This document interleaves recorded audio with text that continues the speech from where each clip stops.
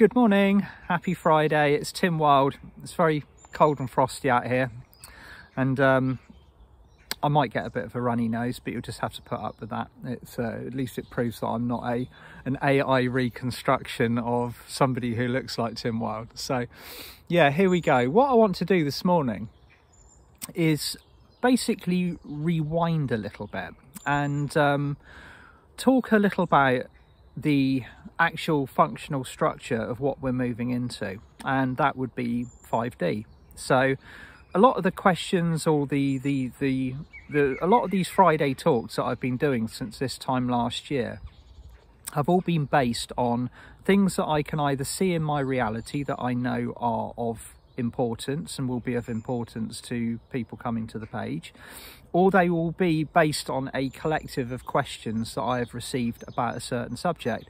Just recently, I've had quite a few people asking me, what is 5D? You know, and, and thinking about it, this is a term that I just use almost thoughtlessly now when I'm when I'm speaking and and presenting and workshops, live events, little meditations, Friday talks the term 5D or fifth dimension is bandied around in in our field with with you know it, it's without much degree of explanation and what I want to do a little bit this morning is break down my definition of what 5D is and why we're moving into it and what a shift from 3D to 5D actually entails.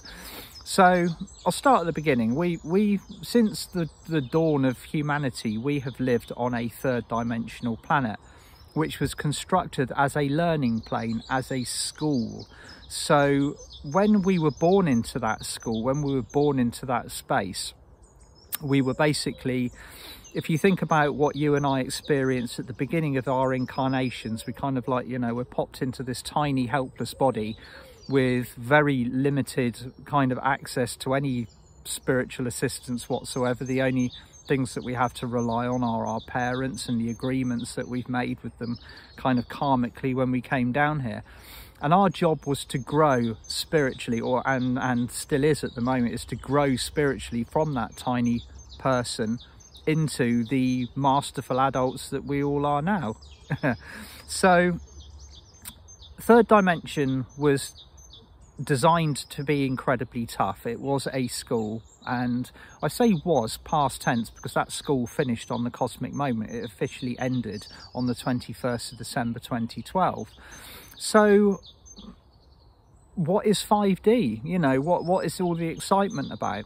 Well, the fifth dimensional version of reality that we are currently moving into involves us at a much higher frequency functioning from the heart rather than the ego okay? And all the fuss that we are experiencing at the moment the transitional window through 4d it's another term that you hear people and me included using quite a lot is you know we're currently slap bang in the middle of this very tumultuous kind of passageway from one state of consciousness into another 5D isn't a holiday destination, and I, you know, I, will hold my hand up quite readily. I used to actually at the at the beginning of of all of this fun and games back in 2012, I actually thought, you know, fifth dimension sounds great. You know, when, when am I going to pack my bags and go there? It's, it sounds wonderful, and of course, it couldn't have been it couldn't have been any different if, if we tried. It, it, it began from from the minute we moved into this moved into this bandwidth of change this transitional window from the 22nd of December 2012 onwards it has been nothing but um, shifting clearing raising our vibrations moving through the most incredible range of tests and initiations and and here we are at the moment actually experiencing and seeing tangibly with our own eyes what happens to a planet when you apply a high frequency to an uh, to an existing blueprint, the, the, the third dimensional blueprint that has been there since the beginning of our journeys on, on in physical life. So it's not a holiday, you know, like I'll say it again, 5D isn't a holiday destination. It's not somewhere kind of magical and shiny that we're going to just wake up in tomorrow. It's a gradual shift. It's a building process. It's something that at the moment we've already laid the foundations for and we're building on top of. So the majority of you listening to me at the moment will already be holding um, it might not feel like this, but the majority of you will already be holding a fifth dimensional frequency. You work on yourselves daily. You work with your bodies, your fields, your chakras. You work with the angels, the unicorns, the ascended masters, the dragons, the the the the galactics, all of the other souls that are gathered around us that are of already existing at this higher vibration are assisting us to move into this higher state of consciousness. But as you will all know, the movement from ego to heart is one of the most it's one of the most incredible and and and and most difficult to traverse leaps that that you can possibly make. If you think about how this planet has operated um, particularly since the fall of Atlantis for the last 10,000 years it has all been based on control on on illusion, separation, um, not just separation from kind of each other, but mostly, you know, when I say separation, I mean separation from source. We had our spiritual connections, but we had to work really, really hard for it. And most of it was based in religion. It was based in in in faith, in kind of you know that that whatever tiny little pieces of tangible spirituality that we could actually connect to and very um, you know quite amazingly in the last 10 20 30 years particularly since the since the harmonic convergence that has begun to expand exp exponentially to the point where we are where we are at this moment in time on this planet. And we're holding this incredible frequency this incredible vibration but we're still in our physical bodies. We are still i'm still me you are still you but we have all of these expanded connections, this spiritual growth. We can see the change and and the you know the, basically the the controlled demolition of the way of life that we we knew previously. There's a lot of people out there that are still very afraid of what is going on on this world. And the reason why I speak with such confidence about where we are going is because I know the plan. The, pl the plan was laid out to me decades ago about this transition, about where we are going, about the fact that we are suddenly going to, you know, literally overnight begin the process of raising our frequency. And I'm I'm excited on a daily basis because I'm actually in the middle of it now. I'm in the thick of it. I'm I'm doing what I incarnated to do. And before I was doing this, I was extremely bored. I was misguided. I was looking for things to fill that space. And a lot of you will be feeling the same now. You will be, you will be like, wow, okay, you know, life might be quite scary. It might be quite challenging. There might be things going on around me in my world that, that are, are threatening what I would regard my personal safety. But we're shifting, we're moving, we're building, we're creating at a higher frequency. And in the middle of this is our personal energetic process and that personal energetic process the the core of it the majority of what is going on in our reality is the shift from ego to heart. So i would say moving into the fifth dimension moving into 5d is moving into a state of heart-centered consciousness. And when we talk about having a fifth dimensional planet and we will one day and it's not to, it's not it's this isn't fantasy and it's not too far in the distant future. And diana cooper originally gave the target date for a five you know like the, the what we're moving into is 2032 and if i'm absolutely honest with you i think we're going to achieve that a lot sooner. The progress that we've made has been incredibly it, it, it's been forward moving. It's been so strong and there is so much more progress than I originally thought we'd make in such a short space of time. I think we're going to do it before 2032. I genuinely do, um, because because it just hap it's happening all so fast. So, what do we see from a fifth? You know, what is our fifth dimensional holiday destination going to be like? Well, it's going to be very similar to the world that we live in now, but we're going to be living in it in a state of heart-centered consciousness rather than a state of ego-centered consciousness. Now that, if you think about it, changes absolutely every platform of reality because in order to function at that higher level, we have to leave behind everything that does not resonate at that frequency. And that means the corruption within politics, that means the unfair system of finance, the, the, the, the, system of currency that flows around this planet that benefits a lot of people and then doesn't benefit other people. The, but the balancing out of how we treat each other on a personal level, which which is you know the the majority of us of refining that process on a daily basis. You know, the, the the the clearances that we've made within our personal lives is astonishing and it all begin it all begins with the sacral clearances. If you ever want to know more about that have a look at my previous videos. And penultimately it and and how we treat the planet how we treat animals and trees and birds and plants. We can't take the way that we were functioning at into the future because it doesn't work. It's not of a high vibration. So in order to step into that high vibration we have to reform the things around us that that need to change. That is why we're going through what we're going through at the moment. The massive shakedown, the controlled demolition of of everything that you can see around you is highly necessary, which is why I trust the plan. I trust what is going on because even though it looks on the on the outside, it looks on the surface level like the the baddies are taking over the planet. They're not okay they're simply playing out a role in order for us to function at a higher frequency. So those are the to me they are minor technical details. What what i'm looking at is the energy that you and i and everybody else who's working in this field are actually creating for us to live at a higher level in the very near future. So 5d isn't you know i'll, I'll say it again it's it's not about us packing our bags and, and flying off to a different place. It's about being here.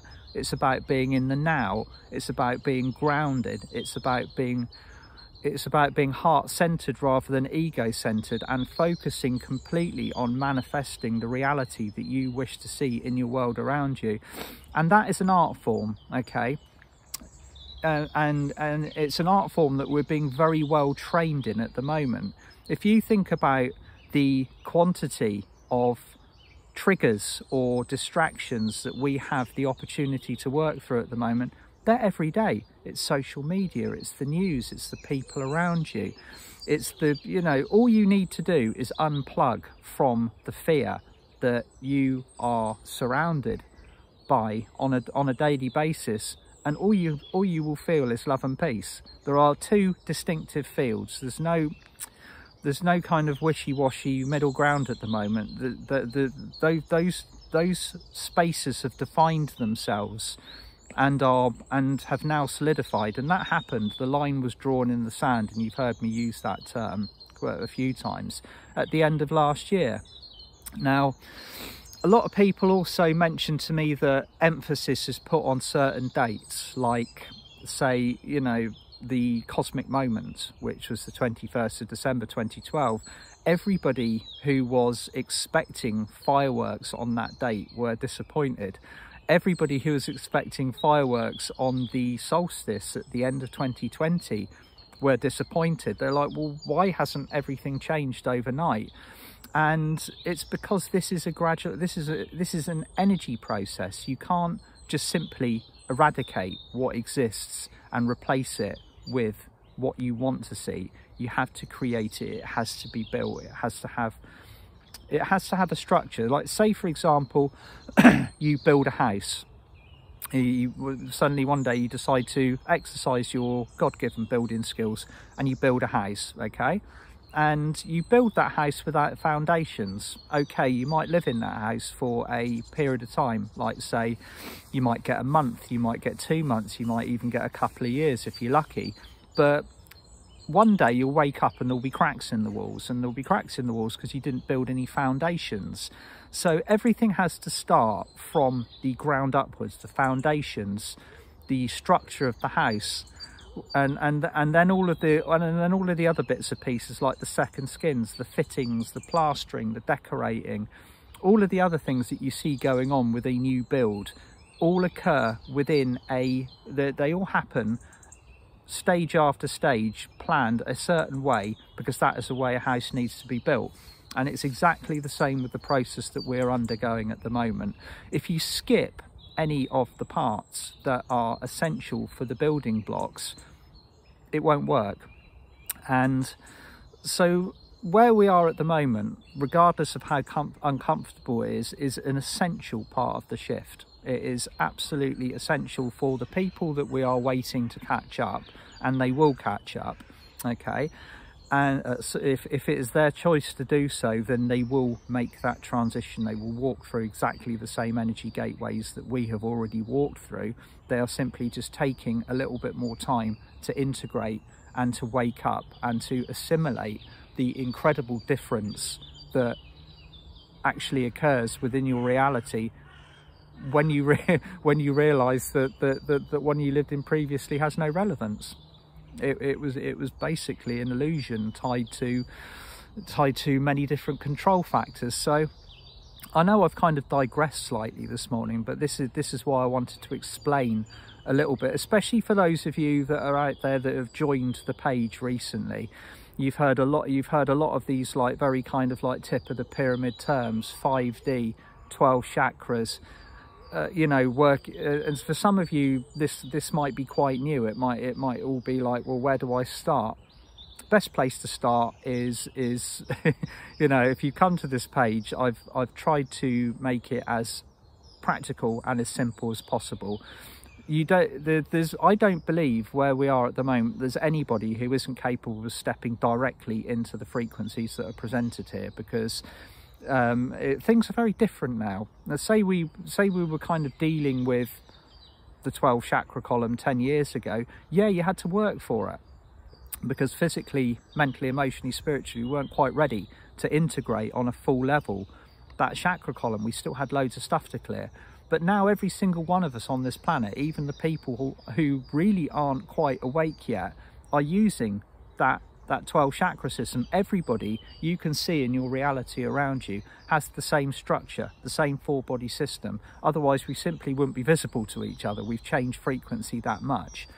So I personally believe that it is it is a, a we are we are simply building very quickly at the moment uh, the, the, the the foundations of our new reality and the the the definition between the two spaces has become so distinct that you you choose one way or the other. You choose one way of thinking or one way of consciousness over the other in order to create whatever reality that that you wish to live in. So the fear it's there you know if if if it is your choice to be living in a state of fear to be worried about things then there is an absolute abundance of that energy and that information that that, that kind of that that cocktail to to kind of like you know to, to, to, to feed the needs from.